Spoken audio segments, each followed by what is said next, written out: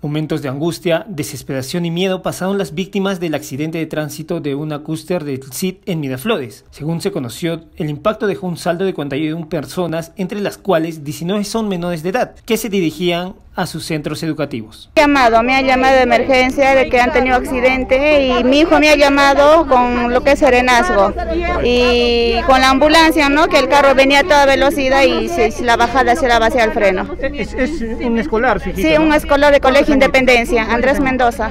¿Cuántos añitos? Tiene 16 años. 16 años. ¿Él siempre subía al vehículo? Claro, siempre, como todo pueblo joven, pueblo joven, vamos en combi, a veces por ir apurado a los, los colegios, los escolares tanta gente nos metemos también por salir, pero debe estar los carros bien de revisión técnica, debe estar con su soba todo el día. Todos los heridos fueron llevados al hospital Goyeneche, lugar donde llegaron los padres, tíos y hermanos de las personas que salieron afectadas de la colisión del bus contra la vivienda. Sí, estoy desesperada de mi hijito porque él se ha volado del carro.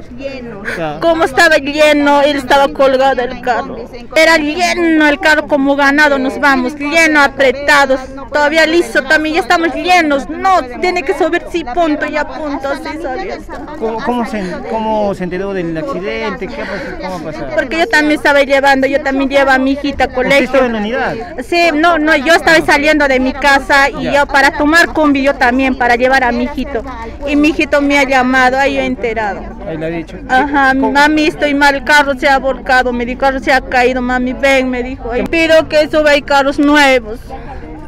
Que haya mayor control. Mayor, más, mayor movilidad, más nuevos. Así Controlen las revisiones técnicas, ¿no? Porque no pueden estar los vehículos circulando sin eso. Sí, eso pido. Algunos familiares que se mantenían al tanto del estado de salud de sus seres queridos exigieron una explicación a la Municipalidad Provincial de Arequipa, porque ellos tienen las competencias del control del transporte público. Comentando, escuchando todas las noticias de que obviamente se le ha vaciado el freno al, al vehículo, ¿no?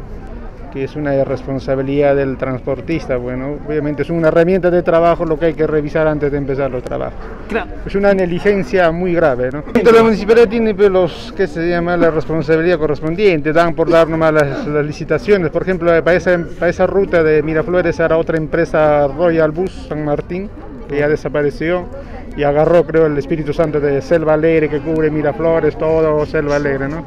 Finalmente, el director del Hospital Goyeneche, Wilfredo Gutiérrez, informó que la mayoría de los afectados se encuentran fuera de peligro, pero existen cinco casos, entre los cuales se encuentran dos menores que se deben de mantener en observación. Por el momento tenemos 30 heridos, de los cuales 19 son menores de edad y en la forma de cuidados que requieren están en shock trauma, son cinco pacientes, pero son policontusos y dos de contexto moderado que están tomando su tomografía, pero todos están fuera de peligro, ¿no? Todos los 30 heridos. Sí, pues, los 30 están ahorita fuera de peligro, se les está atendiendo a todos y todos están atendiéndose por SOAT y, fue, en particular. Sí, Pero todos están fuera de peligro ahora. Por el momento, por el momento, por el momento, porque con transcurso de las horas se pueden complicar y obviamente eh, esto es una evaluación al inicio, ¿no?